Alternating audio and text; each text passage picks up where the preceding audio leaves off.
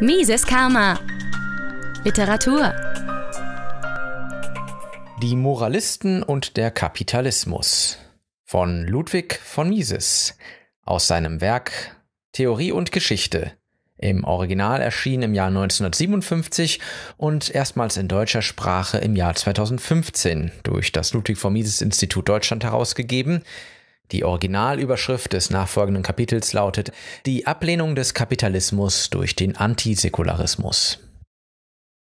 Die Feindschaft, die durch die Verteidiger des Antisäkularismus der modernen Lebensweise entgegengebracht wird, zeigt sich in der Verdammung des Kapitalismus als einem ungerechten System. In der Meinung des Sozialisten sowie der Interventionisten behindert die Marktwirtschaft die volle Nutzung der Leistungen der Technik und hindert so die Entwicklung der Produktion und verringert die Menge der Güter, die für den Konsum produziert und zur Verfügung gestellt wird. In früheren Tagen leugneten die Kritiker des Kapitalismus nicht, dass eine gleiche Verteilung des Sozialprodukts unter allen kaum eine bemerkenswerte Verbesserung der materiellen Lebensverhältnisse für die überwältigende Mehrheit der Bevölkerung hervorbringen würde. In ihren Plänen spielte die gleiche Verteilung eine untergeordnete Rolle. Sie dachten, Wohlstand und Reichtum für alle, die sie versprachen, waren zu erwarten, wenn die Produktivkräfte erst von allen Fesseln befreit sein würden, die ihnen von der kapitalistischen Selbstsucht angeblich aufgezwungen worden waren. Der Zweck der Reform, die sie vorschlugen, bestand darin, den Kapitalismus durch ein effizienteres Produktionssystem zu ersetzen und dadurch ein Zeitalter des Reichtums für alle einzuleiten. Nun, da ökonomische Analysen die Illusion und Irrtümer der sozialistischen und interventionistischen Verdammung des Kapitalismus herausgestellt haben, versuchen sie ihre Programme zu retten, indem sie zu einer anderen Methode greifen.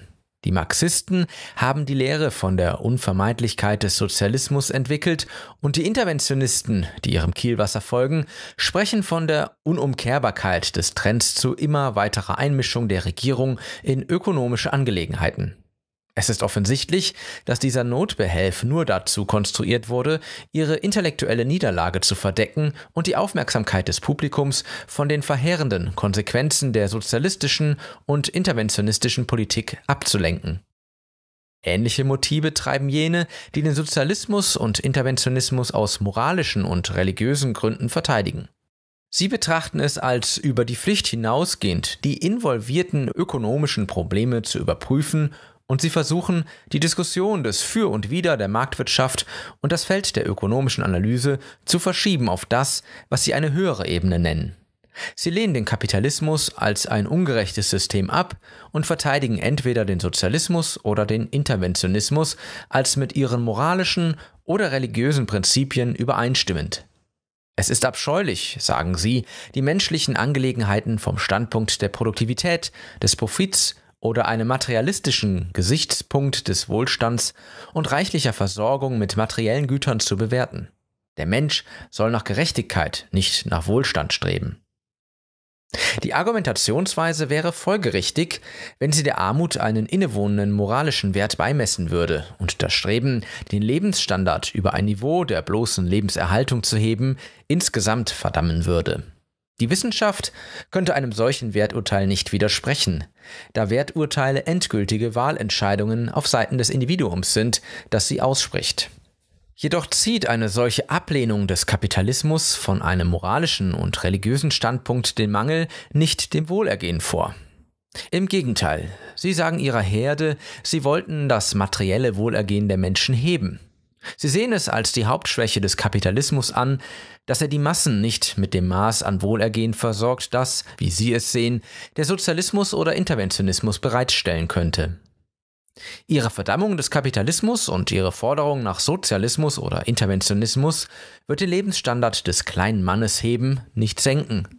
So befürworten diese Kritiker des Kapitalismus allesamt die Lehren der Sozialisten und Interventionisten, ohne sich zu bemühen, eingehend zu prüfen, was die Ökonomen vorgetragen haben, sie zu diskreditieren.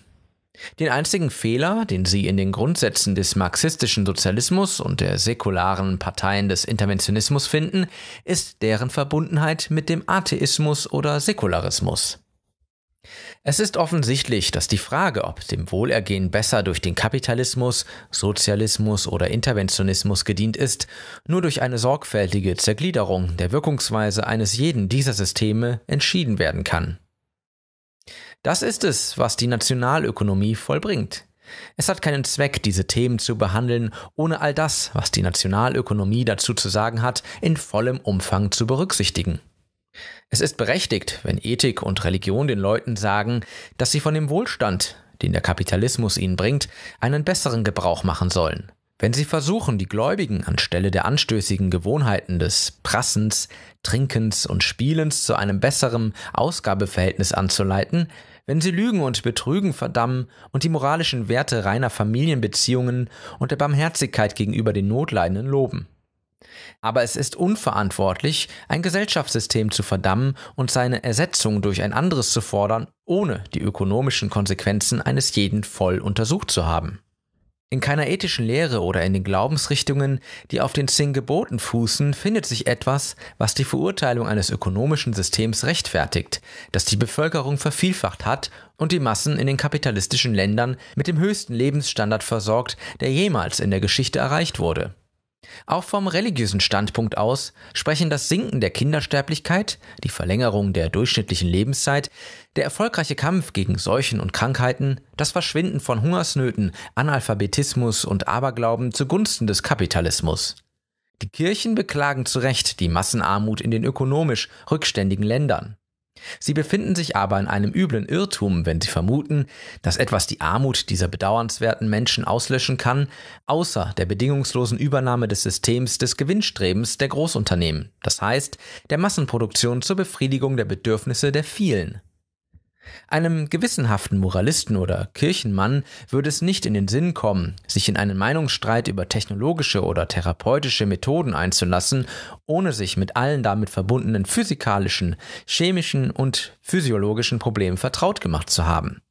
Doch viele von ihnen denken, dass ökonomische Unwissenheit kein Hindernis für die Behandlung ökonomischer Probleme ist. Sie glauben, dass Probleme der ökonomischen Organisation einer Gesellschaft ausschließlich vom Standpunkt einer vorgefassten Idee der Gerechtigkeit betrachtet werden können und ohne das zu beachten, was sie die schäbigen materialistischen Sorgen um ein angenehmes Leben nennen. Sie fordern die eine Politik, lehnen die andere ab und kümmern sich nicht über die Folgen, die sich aus der Übernahme ihrer Empfehlungen ergeben. Die Gleichgültigkeit gegenüber der Wirkung einer Politik, sei es die einer abgelehnten oder einer geforderten, ist absurd. Denn die Moralisten und die christlichen Vertreter des Antikapitalismus befassen sich nicht mit der ökonomischen Organisation der Gesellschaft aus einer reinen Laune heraus. Sie streben nach der Reform der bestehenden Lage, weil sie eine bestimmte Wirkung erzielen wollen. Was sie die Ungerechtigkeit des Kapitalismus nennen, ist der mutmaßliche Tatbestand, dass er weit verbreitete Armut und Not verursacht.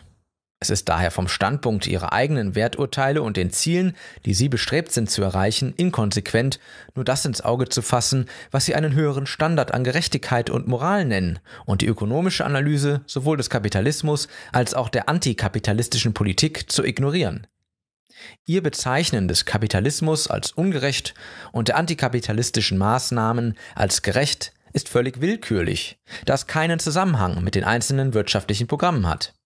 In Wahrheit hat diese Bekämpfung des Kapitalismus als einem System, das den moralischen und religiösen Prinzipien widerspricht, unkritisch und leichtfertig alle ökonomischen Lehren der Sozialisten und Kommunisten übernommen. Wie die Marxisten führen sie alle Gebrechen, die ökonomischen Krisen, Arbeitslosigkeit, Armut, Verbrechen und viele andere Übel auf das Wirken des Kapitalismus zurück und alles, was zufriedenstellt, der höhere Lebensstandard in den kapitalistischen Ländern, der technologische Fortschritt, das Sinken der Sterblichkeitsrate und so weiter, auf die Arbeit der Regierung und der Gewerkschaften. Sie haben unwissentlich alle Grundsätze des Marxismus minus seinem, bloß nebensächlichen, Atheismus übernommen.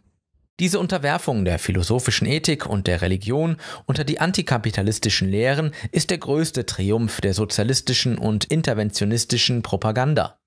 Sie muss dazu führen, philosophische Ethik und Religion zu bloßen Helfern der Kräfte zu degradieren, die nach der Zerstörung der westlichen Zivilisation trachten. Die Moralisten und Kirchenleute leisten der Sache des Sozialismus und Interventionismus einen kostenlosen Dienst, wenn sie den Kapitalismus ungerecht nennen und erklären, dass seine Abschaffung Gerechtigkeit herstellen wird, und sie befreien sie aus ihrer größten Verlegenheit, aus der Unmöglichkeit, die Kritik der Ökonomen an ihren Plänen durch diskursive Argumentation zu widerlegen. Es muss ständig wiederholt werden, dass keine Begründung, die auf den Prinzipien der philosophischen Ethik oder dem christlichen Glauben fußt, ein ökonomisches System als grundlegend ungerecht ablehnen kann, das erfolgreich die materiellen Lebensbedingungen aller Menschen verbessert und das Prädikat gerecht keinem System zu erkennen darf, das Armut und Hunger verbreitet. Die Bewertung eines ökonomischen Systems muss auf der sorgfältigen Analyse seiner Wirkungen im Hinblick auf das Wohlbefinden der Menschen getroffen werden, nicht durch Appell an ein willkürliches Konzept der Gerechtigkeit, welches unterlässt, diese Wirkungen im vollen Umfang zu würdigen. Mises Karma, der freiheitliche Podcast.